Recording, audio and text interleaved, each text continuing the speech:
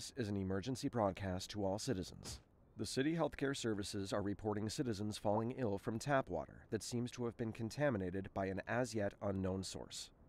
All citizens are advised to boil all tap water before use or cease using tap water altogether until the situation is resolved.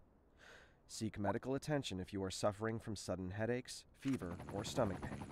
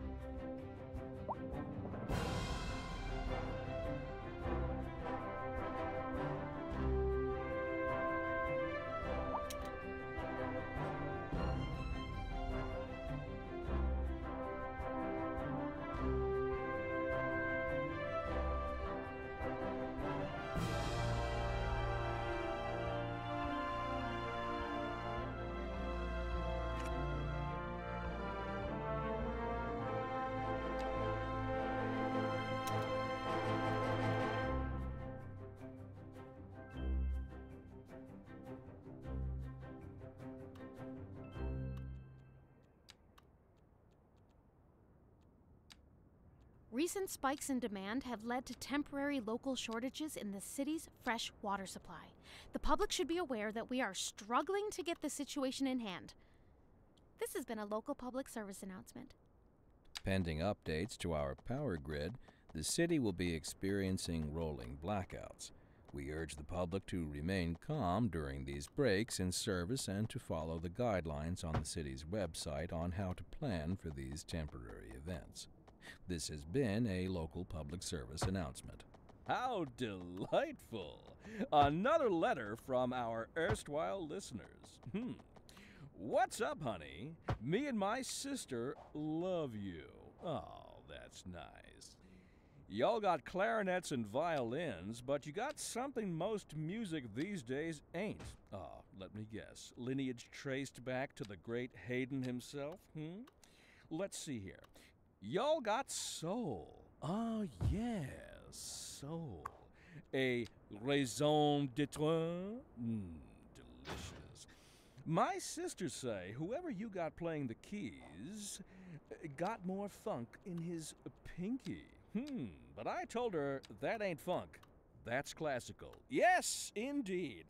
That must be most exacerbating. Classical music has been known since the time of the early explorers. Funk, by contrast, is an entirely modern conceit, and you'll find none of that here. Funk, as they say, is for the layperson. Now, let's hear another one of those soulful cants. A housing shortage is driving up prices in the area. That's right, Glenda. But apparently, that's not all good news. We're joined today by an expert guest, Professor Nutbutter. Welcome, Professor. So, a housing shortage is bad for the people trying to move here, right? Humans are programmed to desire certain representations within ideological reward structures, which are entirely apart from the actual rewards enjoyed. For example, consider capital. One, right, one final question, Professor. Is the housing shortage going to make me richer? By certain metrics, perhaps yes, in the short term. I like the sound of that. But what we are discussing is the study of a statistical abstraction and its effect on the human. Thank you, Professor. It is a question of priorities. Industry in the region is on the rise, and when business is doing well, that floats our boat. There's no sinking this boat, Glenda.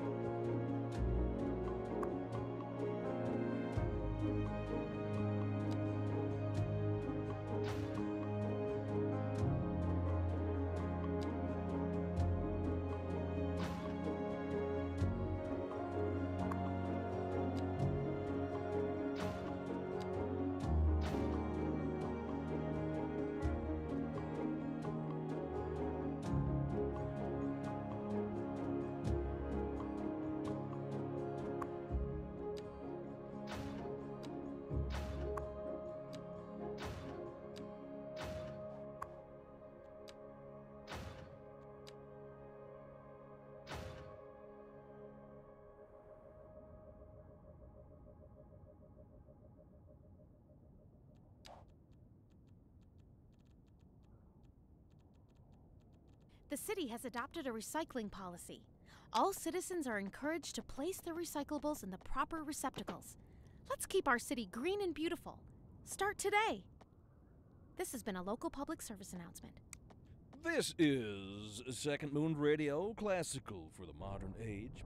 Unlike most modern music, classical has always been penned by someone sitting in front of a sheet of blank paper, using only their imaginations as guides through a silent, audible masterpiece. Now, here we sit, listening at full volume, and our souls are transported.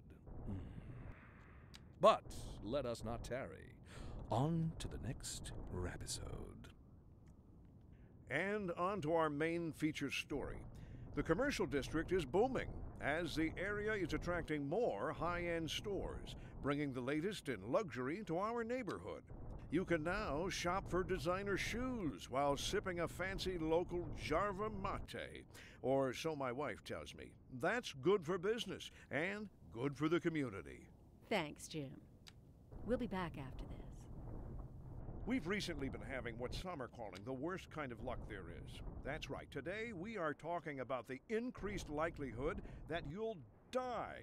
That's not exactly what an increased death rate measures. Either way, if everybody is dying, that gives me the creeps. That's a wild overstatement. Are you trying to make people panic? Pam, did you, did you say panic? She said panic. The death rate is skyrocketing. We've got to get out of here. You go, I'll stay and clear up the mess. We'll be back after this.